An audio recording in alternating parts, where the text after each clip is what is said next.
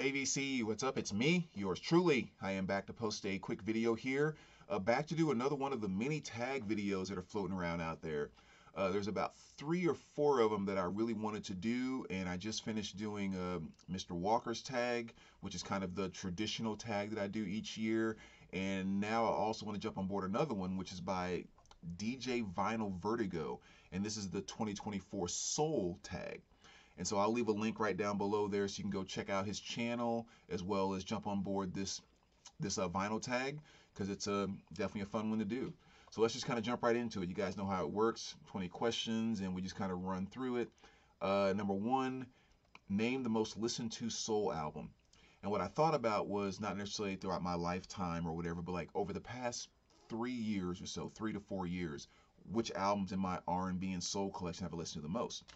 And it was a close one between Bobby Womack and this one right here, but I think I've actually listened to this one more, which is Miguel's Kaleidoscope Dream. This is his 2012 release, and um, yeah, it's just one that I don't get tired of listening to at all. Um, you know, awesome stuff on here like songs like Adorn, uh, Use Me, Kaleidoscope Dream. My favorite song is The Thrill, uh, How Many Drinks, Arch and Point. Just really, really cool stuff. And the thing I really like about it is I'm a huge fan of 80s R&B, like, and that that's one genre I feel like doesn't don't get a ton of love in the VC, but it's one of my absolute favorites. And a lot of the flavor inside of this album was stuff that made 80s R&B fantastic, which is probably the reason why I ended up loving it so much. So uh, yeah, fantastic album, highly recommended. Matter of fact, for those that aren't familiar with Miguel, specifically that album, because some of his other albums don't sound exactly like it, I thought one thing that was interesting is obviously there's a, a bunch of Harry Styles fans out there, and I was listening to the radio XM radio one day, heard a song come on, and my first thought was that kind of sounds a little bit like Miguel. Is that a? So I just kind of kind of gave a look to see, and it was actually the song "Adore You" by Harry Styles.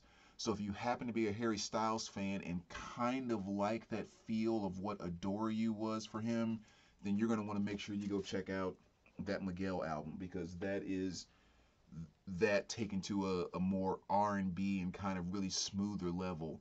But uh, anyway, just want to throw that out there. Uh, question number two. Most recent soul record purchase. That one was pretty simple. Got this one a couple weeks ago at the shop. Uh, the Impressions and this, of course, is a, I shouldn't say of course, but this is a 1963 original pressing. And I was going to say this, of course, has the, the song It's Alright on there, one of their biggest hits. And uh, even though they were, you know, pretty big name band, I mean, you can't ignore the fact that one of the solo breakouts in this band was the one and only Curtis Mayfield. I mean, just one of the legends in the soul world. But yeah, just a beautiful original pressing there. So definitely glad to add that to the collection. Uh, number three, just a male solo artist. Ton to choose from there, but I'm going to go with George Jackson. And this is George Jackson in Memphis. Uh, he was one of those singer-songwriters, and it definitely just very connected with the whole Memphis sound, you know, that Memphis soul sound. Like, uh, but really, really fantastic stuff. Really wasn't a lot of his stuff on vinyl, uh, or just really kind of released period kind of till recently. So really cool artist to check out. And my favorite album is actually this one here. I went ahead and pulled this out. This is the CD, uh, Don't Count Me Out, uh, the Fame Recordings Volume 1. There's some songs on this that have been released on a few recent vinyl releases, but uh, my absolute favorite song by him, which has not been pressed on any of the vinyl releases yet, or any of the comps, is Search Your Heart. Love that song. First time I heard that in a record store, it was actually this CD, and I was like, I have got to go up front and see who that was, and I'm buying whatever they're playing. And it was it was this right here. So if you're not familiar with him and you're gonna go check that out after my video here, Search Your Heart is the first song I recommend checking out by him. If you like that, dive deeper. Uh, next question, a Stax release. I'm to go with Isaac Hayes, Hot Butter Soul. Absolute classic, legendary album here. Uh, if you are a hip hop fan, especially from the 80s and 90s hip hop, you know, you listen to this album and you literally hear 20, 30 different songs. You can point out samples that came directly from this album. Uh, just just one of those awesome, awesome pieces. And and whenever I think about Stax too, I always feel like I have to tell this story because it was just such an awesome day.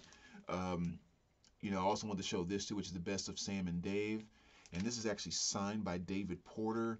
Had a chance to meet him one time, and uh, and not only have a chance to meet him, but me and a few other people actually had a chance to kind of sit with him and just ask him tons of questions.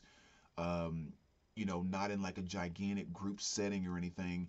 And it was just one of those kind of 45 minutes or whatever of just jaw on the floor. Because for those maybe that don't know, like David Porter and Isaac Hayes were basically the two that wrote and produced, I mean, beyond the majority of stuff that came out of Stax Records. Like those were the two guys that were in the studio putting all the stuff together, coming up with everything. Um, I, I mean, just freaking amazing. And so to sit here and to sit there and just listen to him talk about, yeah, and then Isaac and I did this, and and Otis was kind of like this, but she was more so. I was like, Otis, we need to do this, but then we came with this idea. We were walking down the street and we saw this, and we thought, and the whole time you're just like, what? it's just mind blowing, amazing. But anyway, I always have to blab about that when I start talking about Stax Records because it was just such an amazing thing. But let's move on. Question number five soul artist not from America. We'll go with Joss Stone. I believe she's from the UK. Uh, you know, maybe she doesn't look the part, but she sings the part, and that's all you need to know. So that's uh, Joss Stone Soul Sessions. Awesome, awesome, awesome artist there. Um, next one, number six, female soul artist. As I mentioned earlier, you know, 80s R&B is one of my absolute favorite genres. So I'm going to pick some females from the 80s, and I'm going to go with Klymaxx. And this is their release from 1984. Uh, really, really cool band. Um, they, in, my, in my opinion, they were very much the female version of Cameo. You know, Cameo to me was the the most rock and roll R&B band, especially in the 80s. They just kind of did things the way they wanted to do it. There was no sound they had to stick to. We're going to have some like guitar solos here. Next time we're going to have this all funky stuff. The next time we're going to be completely silly. Like they just did whatever they wanted to do. Very much a rock and roll attitude. And uh, Klymaxx was kind of the female version of that. Um, you know, great stuff on here like the Men All Pause, kind of more of a traditional 80s R&B song, and then I Miss You, slow ballad that was a hit for them. Uh, Meeting in the Ladies Room, another awesome one just really, really great, great, great band there. So I'm going to choose them as my female artist. Number seven, gospel album or single by a soul artist. I pulled out two, so I figured I'd just go ahead and show both. To go with Jesus is Love by the Commodores, one of my favorite, favorite songs by them. And then I'm also to go with the song off of this album, which is Johnny Robbins. This is Memphis High, and he did a really cool track called God is Love on this one. So uh, you'll get two for that that one just because I figured why choose between the two? I'll just show both of them since I already pulled them out. Uh, question number eight, blue-eyed soul artist. Let's go more than blue-eyed. Let's go red-headed. I'm gonna go with the one and only Simply Red. Boy's got a voice. It's smooth. It's just freaking awesome. I've always loved him. And uh, this is definitely my favorite. Um, well, probably say my favorite album by him. Definitely has my favorite song by him, which is "Holding Back the Years." Just does such a perfect, smooth delivery on that song. I love it. So I hope eventually he'll get around to uh, issuing his greatest hits on vinyl because the CD is awesome. Would love to have that on vinyl as well. Uh, question number nine: Soul artist that more people should be aware of. This time I'm going to go with Gregory Porter. This is Be Good. Uh, and mainly kind of going with him because there's not a lot of modern day soul artists that I really care that much about at all, or that I really just kind of have any interest in whatsoever when hearing their stuff. Uh, but Porter is one of the few. And I think one of the things is, especially coming out of the 90s and going into the 2000s, and you know, kind of moving through that time frame, it's just like everything R&B and soul became about like how much I want your body and I'm this and I'm aching for you, you know, just like, and it was just kind of like it's, it's like, okay, is there anything else? Is there anything else? And like Porter is something else. Um, you know, it's something that's almost kind of more not jazzy, but definitely more of kind of a, a ah, it's really kind of hard to describe. There's more of an innocence to it.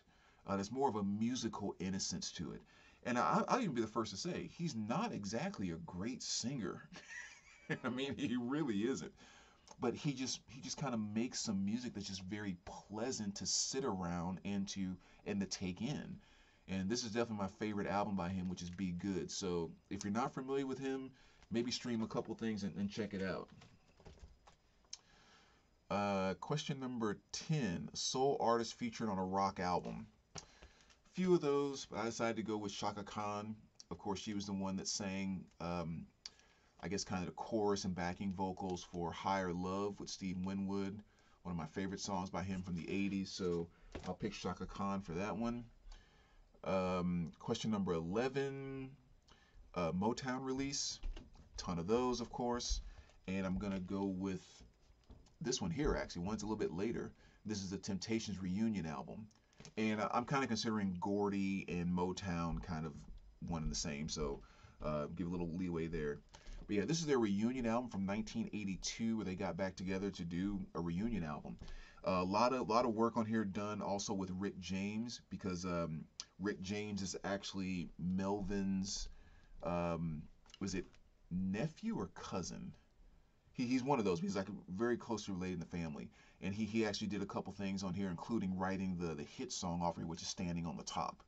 Uh, which was a fantastic song because not only was it that 80s funky Rick James type of thing, but you got the opportunity to hear Eddie Kendricks, David Ruffin, Dennis Edwards, and Richard Street all singing lead in a song.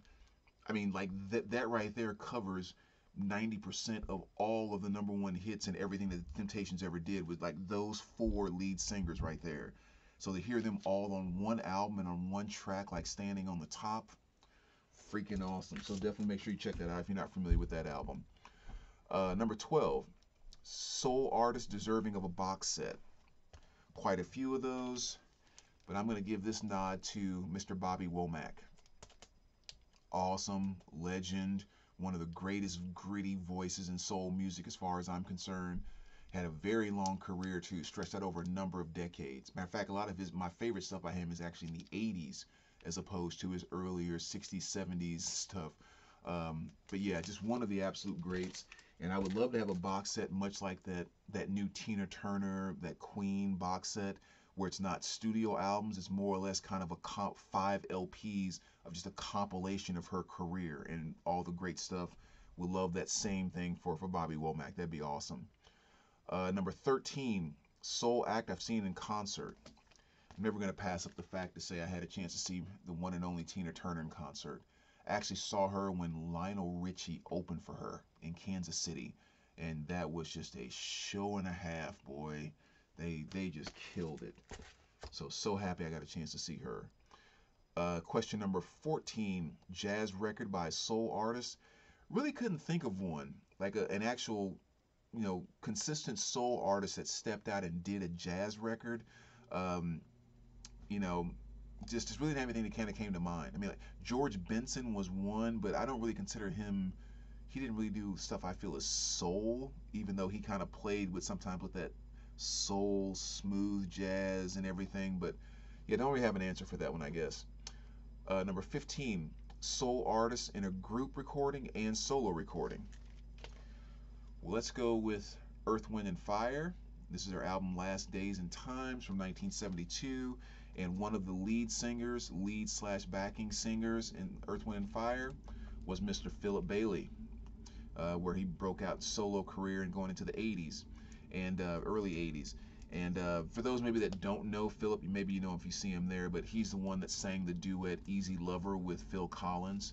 But uh, but yeah, I mean, just one of the absolute greats. This is my favorite solo album by him, which has my favorite solo song by him, which is I Know is the name of the song, and love it to death. But definitely one of the legends in the R&B world. Uh, let's see. Question number 16. Favorite soul song? I refuse to answer that because I don't think I actually can. Like I, I just, my mind was literally hurting trying to pick out like to say this is my favorite soul song. So the closest that I can get with these two records is I can say I've always thought a change is going to come is arguably the best soul recording of all time even though it's not even my favorite Sam Cooke song. Like Bring It On Home to me is my favorite Sam Cooke song. But I think A Change is Gonna Come is probably the best soul recording of all time. But can't say my favorite song. The other thing I was able to get somewhat close to is when you go to Wilson Pickett, who's one of my top three vocalists of all times. Uh, in the song Hey Jude, when you get to the center, the middle of the song, the part that goes that goes right into the the na na na, you know, in the Hey Jude, when he does whatever that that belching scream is that he does for that 15 or 20 seconds when the song transitions into that na na na part it, it it blows my mind every single time I hear it so that is arguably one of my favorite moments in a an R&B or soul song. But that is as close as I can get to saying a favorite about something. I absolutely cannot pull a favorite song. I, I can't do it. So I'm going to have to plead the fifth on that one. Uh, question number 17 a reggae soul artist release. Um, again, I took the question as like a soul artist who normally is a, a soul singer that did a reggae song. And or, or, or did a, a, reggae album, and I really didn't have. Maybe I'm misreading that, but I didn't really have anything to kind of answer that one. Uh, number 18, live in concert soul recording. That was easy one to jump right to. Sam Cooke live at the Harlem Square. I mean, this is definitely one of my favorite and one of the best live recordings. Because uh, I'm not a huge live album person, period, across all genres, but this one is absolute killer. Uh, from 1963. And the thing I think that makes this one is, is kind of cool is that um, you know Sam really had three different worlds that he he could fit very well into and, and like and like kick it in those worlds the gospel world with a gospel delivery, the smooth jazz, vocal jazz type of easy listening world, which he could do with perfection, and then the get down grit in your soul world, and he could do that as well. And this was the get down in your in the grit his soul world that he, he did on, on this particular performance at the Harlem Square Club. So fantastic, fantastic. And one of my absolute favorite moments on this is between the song Somebody Have Mercy and the song Bring It On Home to Me, it plays like a concert. You know, they don't pause it or anything. So you hear the, uh, you know, just like the, the transition from one song to the next. That transition between those two songs that he did, to me, just shows you exactly what made Sam Cooke the genius that he was. It's like 30, 45 seconds or something like that that just shows everything pure about why Sam Cooke was the legend that Sam Cooke became. Fantastic. So I'm gonna pick that as my my live pick. Sorry, I'm getting a little a little long-winded here, but good stuff makes me start wanting to yap. Uh, Soul compilation release. Again, I picked two, so I figured instead of whittling it down, I'll just go ahead and show both. Um, you got the Loma compilation here, and then the LaFace Records Presents compilation here. I actually showed this one not too long ago in a What's Been Spinning video. Just a compilation of, you know, kind of a smaller label, uh, not a lot of gigantic hits that a lot of people would know, which is kind of nice because this is just buying these comps. In most cases, you're just discovering soul that you never heard and probably never would have heard in most cases. But really, really great old school stuff there. And um, and then this is kind of more of a modern modern compilation, the Platinum Collection just all of the the platinum hits that came out from that label. And I'll kind of do this just so you can see the, if I can get the glare out of there. I'm sorry, probably can't see it that well, but that gives you an idea about the track listing in case you're curious about that. But uh, yeah, so that's two kind of compilations from different different time frames. And question number 20, favorite soul channel in the VC. I'd probably have to say the one that I've gotten the most or watched the most dealing with soul from over my however many years in the VC would probably be Secco Funk. Um, I don't think he's really posting that much anymore. I think he's had a few things here and there. But a few years ago, like I used to watch his stuff all the time and just discovered so much on the the soul side from him. Matter of fact, now I'm thinking about that. when I'm mentioning the album that I've been listening to the most over the past few years, well, I discovered this album by watching his channel. I'd never heard of it before. He showed it and started talking about how impressed he was by it and, you know, didn't expect it to be as good as it was. And I was like, well, let me go check it out. And boom. So, uh, yeah, I'd probably have to say he would be the, the channel that I've, that I've gotten the most soul from, if you will. But uh, anyway, there you go, VC. And as always, thank you guys for watching, friends for sticking around. Uh, let me know what you think, and uh, we will talk to you soon. All right, take care, guys.